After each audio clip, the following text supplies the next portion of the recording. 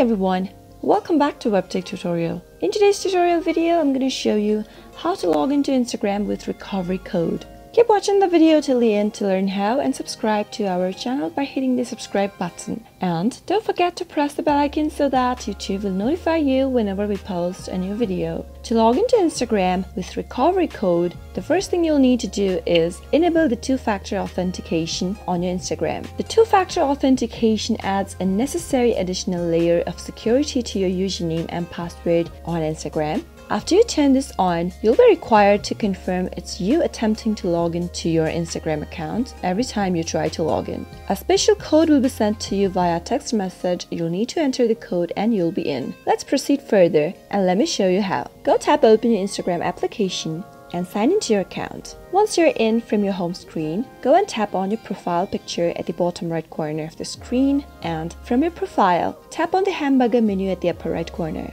Now, Tap on the settings at the bottom of the screen and from the menu, select Security. Under Login Security, you'll be able to see two-factor authentication menu. Simply give it a tap and on the next page, tap on Get Started. You can choose your security method between authentication app or text message. If you choose to toggle on the authentication app option, then Instagram will first check to see if you have one. If you don't, then you'll be recommended to download one.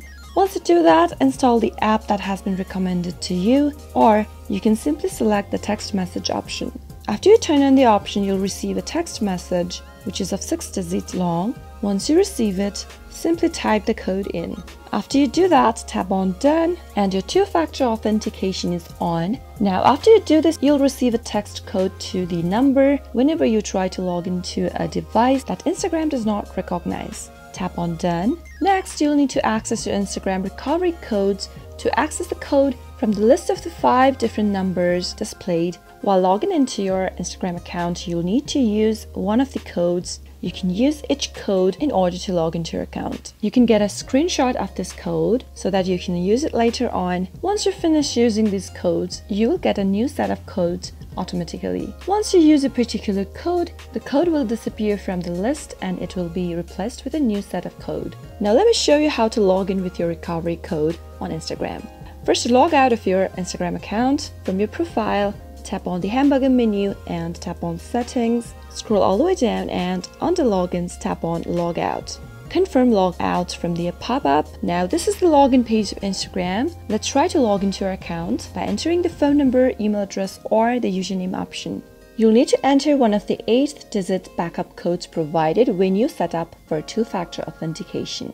Since I took a screenshot of the codes, let me go to the screenshot that I took and type it in. After you do that, tap on confirm. With this security code, you can log into your Instagram on another device, including your computer, without needing the text message code sent to your phone. Simply log into Instagram like normal and enter any one of the 8 digit recovery codes when prompted. That is how you can log into Instagram with recovery codes. I hope the tutorial was helpful to you. If it was, go ahead and give it a thumbs up Feel free to comment down in the comment box if you have a question or a feedback for us. I'll be back soon with more tutorial episodes. Goodbye till then.